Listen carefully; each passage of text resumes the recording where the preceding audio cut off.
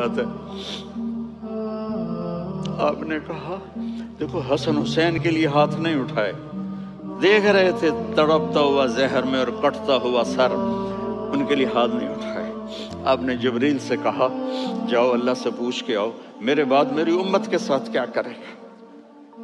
ये ये जो हम बैठे हुए हैं, गुनाहों के दाग अपने सीने पर लेकर, चेहरे पर लेकर का जाओ पूछ के आओ मेरी उम्मत के साथ क्या करें मलकुल मौत वहीं खड़ा रहा, जबरील वापस गए।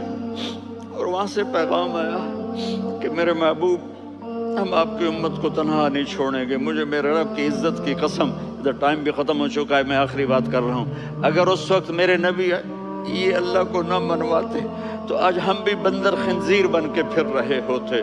दुआएँ दो उस कमली वाले को, जो अपना जिगर कटा गया। एक रात आप भूख से लेटे हुए ऐसे, कभी यूँ होते हैं कभी यूँ होते हैं। करो हज़रत आयशा के घर की बारी। कभी ऐसे होते हैं, कभी ऐसे होते हैं। फिर एकदम आप आगे हुए और वो जो चारपाई की लकड़ी होती उस पर अपने पेट को यूँ रखा और ऐसे झुक गए, यूँ यूँ झुक गए। हज़रत आयशा बेकरार होके खड़ी हो, बैठ गए। या रसूलुल्लाह, ये आप क्या कर रहे हैं? ये क्या कर रहे हैं? क्या कर रहे थे? मैदे को इकट्ठा कर रहे थे, भूख की शिद्दत फरमाया। आयशा, भूख बड़ी लगी। आयशा, भूख बड़ी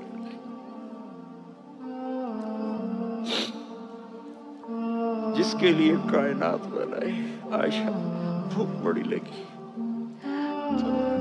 तो आयशा रोने लगी। या रसूल आप यूँ हाथ उठाएँगे और आपके लिए सब कुछ आ जाएगा। आप मांगते क्यों?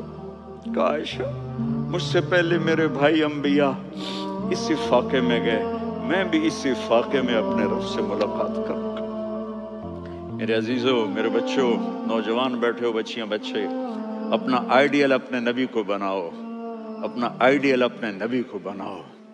और नबी वाले अखलाक सीखो, आपके घर आबाद हो जाएँगे।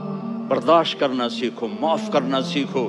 अब आप कैनेडियन हो या जहाँ से भी हो, इस पासपोर्ट की इज़्ज़त करो, यहाँ के कानून का एहतराम करो, यहाँ वायलेशन ना करो, झूठ ना बोलो, किसी को धोखा ना दो। यहाँ की लड़कियों से इसलिए शादी ना करो कि मेरे पेपर बन जाएँ। क्या मतलब काले मुँह के साथ उठाए